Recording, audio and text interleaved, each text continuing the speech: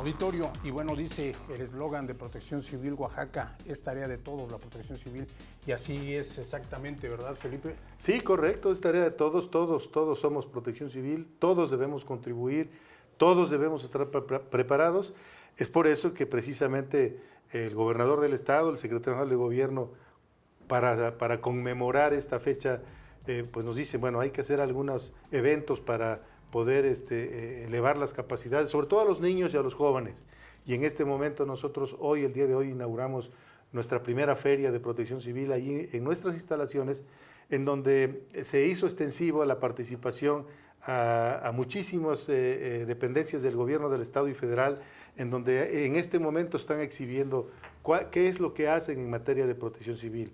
Está Telmex, está Comisión Federal de Electricidad, está la Secretaría de Comunicaciones y Transportes, está eh, Zagarpa, están eh, eh, y muchas, y casi la mayoría de las dependencias estatales.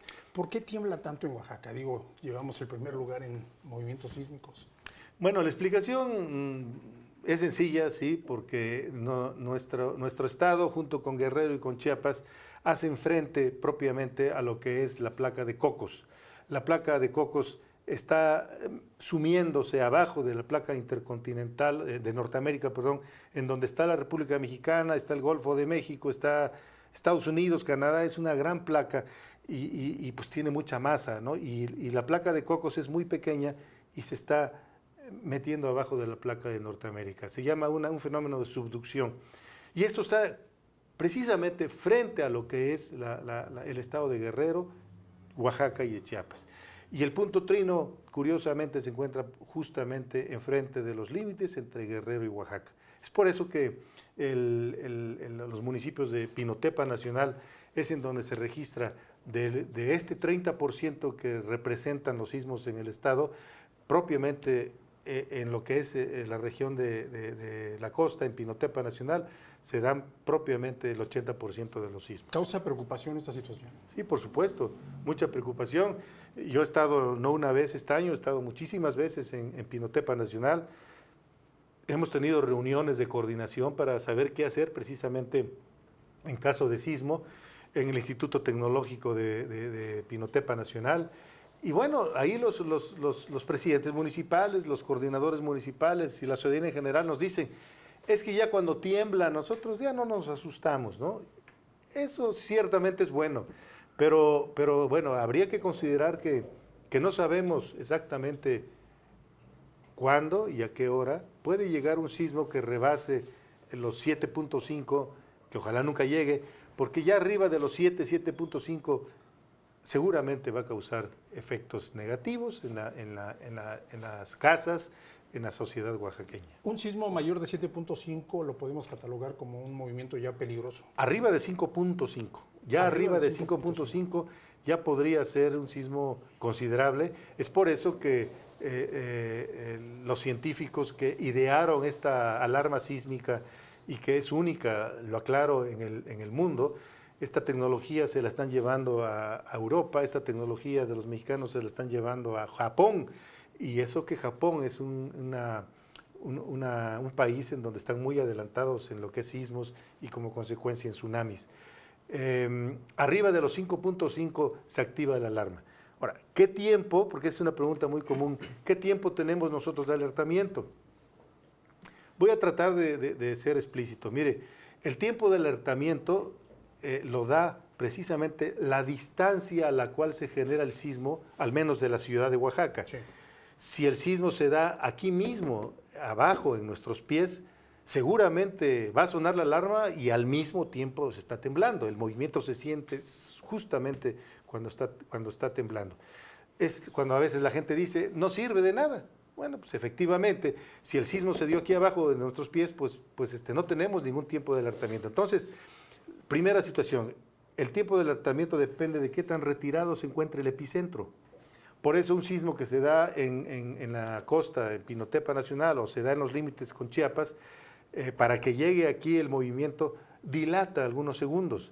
Ese es el tiempo en que se toma la alerta sísmica para, podernos decir, con, el sonido de la sirena, del, alertamiento, tengamos nosotros 15, 20, 25 hasta 30 segundos para poder saber qué hacer y aplicar nuestros protocolos. Uno de ellos es salir, evacuar, y otro de ellos es también poderse resguardar en lugares que estructuralmente dentro de nuestra casa sean los más seguros.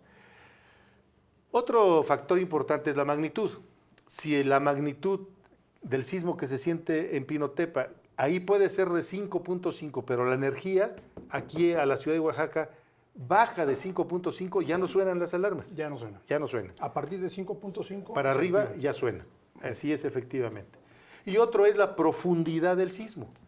En la placa de subducción que sirve enfrente de Chiapas, Guerrero y Oaxaca, este, eh, normalmente las profundidades del epicentro van entre los 5 eh, hasta los 20, 25 kilómetros hacia abajo. Son muy superficiales, así se conocen. Los sismos que se dan al interior del estado, ya eh, por Matías Romero, colindando con Veracruz, ya son sismos que, incluso aquí en Oaxaca, son sismos que la profundidad se dan arriba de 100 kilómetros. ¿no? Ese, es ese es otro punto. Por eso es de que, es de que cuando fue el sismo de, 19 de septiembre de, 1985, fue un sismo de 8.1, lo sentimos tan fuerte como lo sintieron en Guerrero, lo sintieron aquí en Oaxaca y se sintió en México. Ahora, ¿por qué en México se siente el movimiento un poco más? Es por precisamente el tipo de suelo en el que está sentado está, Está ubicada sobre el antiguo lago de Texcoco. Es correcto. Entonces hay más vaivén, hay más movimiento, pero la energía es la misma. Muy bien. ¿Es predecible, eh, perdón, es factible predecir un, sismo? No. Hay, hay, muchas eh, leyendas urbanas en torno a que por ahí va a llegar un sismo de magnitudes muy, muy importantes y va a afectar a Oaxaca. Eh, cuando se difunden este tipo de noticias es importante decirle a la gente.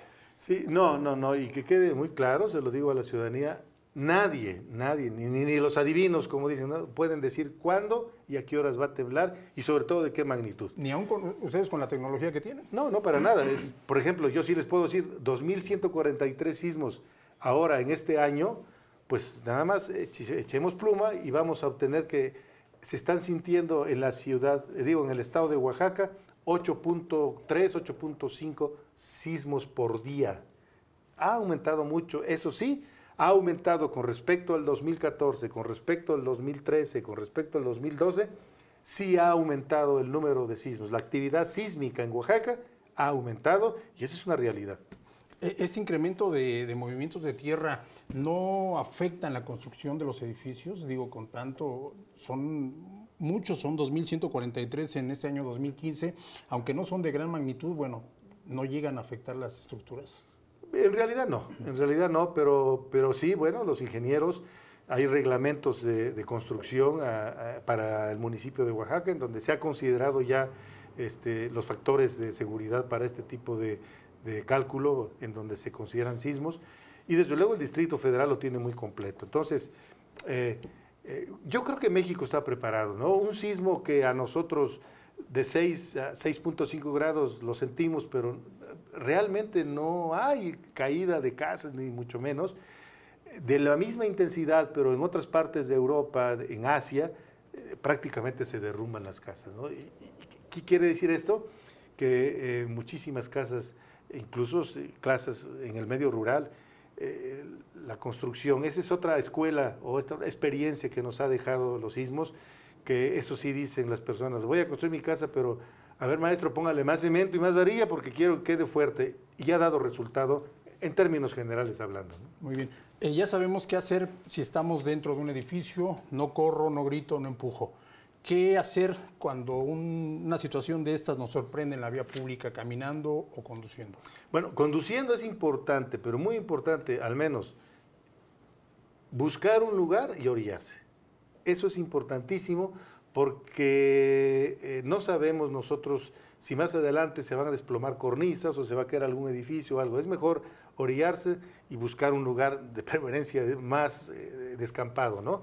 Eh, respecto a los peatones, quitarse de las, de las aceras porque, porque precisamente la experiencia nos ha dicho, esto lo pongo como experiencia, eh, las personas, sobre todo en ciudades coloniales como Oaxaca, vamos sobre las aceras y hay muchas cornisas. Esas cornisas se han caído y, desafortunadamente hace algunos años le quitó la vida a dos personas aquí en la ciudad. Precisamente por caída de cornisas, las gentes pensaron, me, orillo aquí al paramento, me, resguardo con la pared, pero nunca pensaron que se podía... No es recomendable pegarse a las paredes. No es recomendable.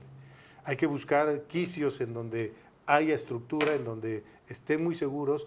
Por eso a veces es mejor no salir a la calle, sino que quedarse en nuestra casa, buscar un punto de reunión interno en nuestro hogar. Si no lo tenemos, entonces buscar estructuralmente las cornisas de las, eh, de las casas, de, decir, de la construcción de nuestras casas, abajo de las puertas, abajo de escaleras, en donde eh, estructuralmente hay mayor seguridad. Es importante también que las familias trabajen en estas tareas de protección civil, digo, no solamente por cuestión de los sismos, como ya lo mencionó, tenemos lluvias, tenemos granizadas, tenemos vientos fuertes y algunas otras expresiones de la naturaleza que son impredecibles.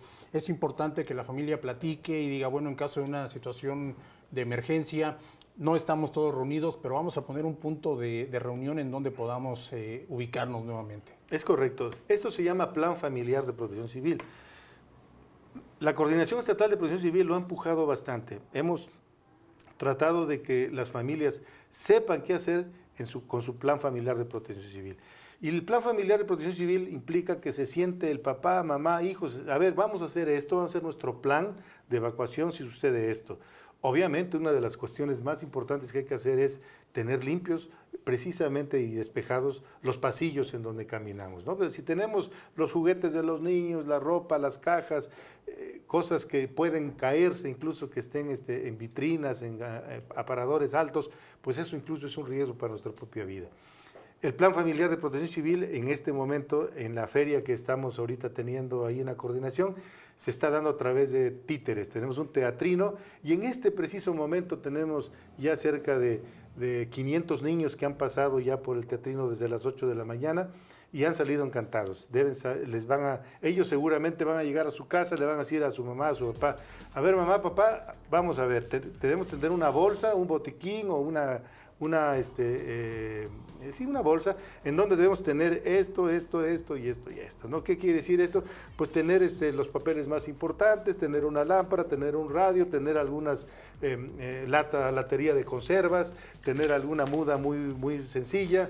Eh, en fin, todo esto este, se está dando en este momento allí en la coordinación a través del teatrino. Perfecto. Vamos a una pequeña pausa. Auditorio, les recuerdo, hay una línea telefónica en el estudio 205-6300, la línea directa. Y para mensajes de texto, 951-172-5797. Usted sabe ya qué hacer en caso de una emergencia, de una contingencia ocasionada por fenómenos naturales. ¿No lo sabe? Bueno, pues aquí está un experto que nos está informando qué medidas tomar, cómo actuar y qué hacer. Hacemos una pausa, regresamos de inmediato.